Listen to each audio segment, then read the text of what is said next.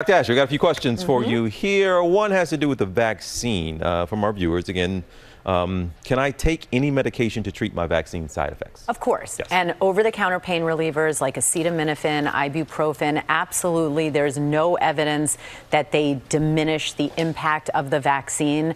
Um, and they are effective. You know, if you have body aches, if you have some fever, some soreness at the injection site, by all means, um, you can ch- check with your doctor, you can get those over the counter.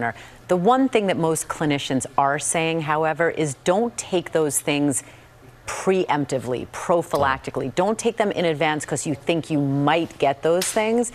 Um, that's true for any medication. You only want to take something if it's necessary. All right, another one here having to do with probiotics. Started up a conversation with our crew here about this, but what is the best way to consume probiotics and how often should we take them? Really, really interesting question. And unfortunately, the answer to both parts of that question is we don't know, we don't know. This is still in its infancy. The whole gut microbiome, the role of probiotics and prebiotics in our GI health and our overall health. And so I've spoken to gastroenterologists about this, and they say we know that they're important, but there isn't enough good data yet to say when, how much, what kind.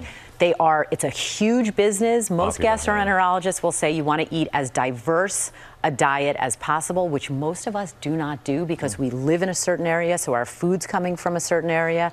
Um, but in general, you know, you can proceed with caution if you want to buy something over the counter, but there's not really conclusive data that one brand is better than any other yet. Yes, all right, Dr. Ashton, thank you. Folks, keep bet. your questions coming to the good doctor on our Instagram at Dr. J. Ashton. We Well, hey there, GMA fans. Robin Roberts here. Thanks for checking out our YouTube channel. Lots of great stuff here. So go on, click the subscribe button right over right over here to get more of awesome videos and content from GMA every day, anytime. We thank you for watching, and we'll see you in the morning on GMA.